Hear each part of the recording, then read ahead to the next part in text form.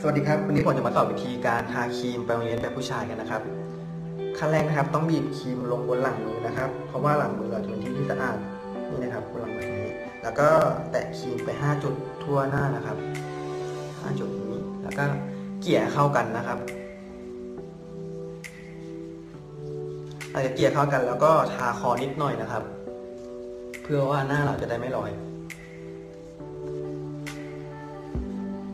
เกี่ยวกัน ถ้าเกิดหน้าใครบางไปหรือว่ายังไม่พอใจก็ทาแป้งลงไปนิดหน่อยก็ได้ครับ แล้วหลังจากนั้นก็จัดแต่งตัวให้เรียบร้อยและสิ่งที่ขาดไปได้อย่างหนึ่งเลยก็คือนี่นะครับลิปมันลิปมันจะช่วยไม่ให้เราปากแตกนะครับ มันจะดูแย่นะครับพอปากแตกที่เนี่ยแล้วก็ทาไปนะครับนิดหน่อยนะครับ แล้วก็บีบให้เข้ากันเท่านี้ก็เสร็จแล้วนะครับ ทาครีมไปโรงเรียนจัดแต่งตัวให้เรียบร้อยนะครับแล้วก็เสร็จผม